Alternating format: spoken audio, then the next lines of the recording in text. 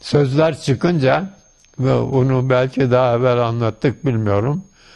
Zübeyir abi anlattı.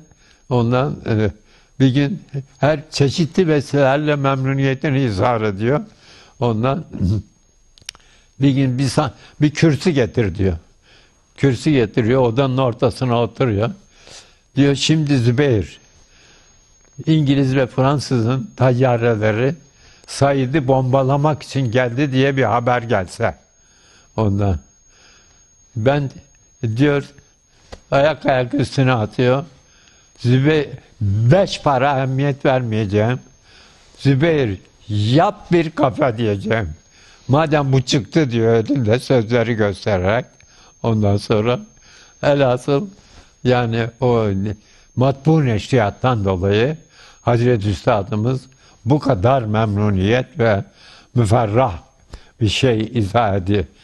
Yani ama Diyanet'te olsaydı çok daha farklı olacaktı.